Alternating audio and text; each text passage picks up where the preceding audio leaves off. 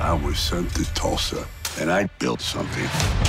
Now, we have some trouble coming our way. They want a piece of my business. We in this together. Tulsa belongs to me now. Oh, great. Buckle up. Here we go. I don't answer to any man. What happened to him? Yeah, he's taking a nap.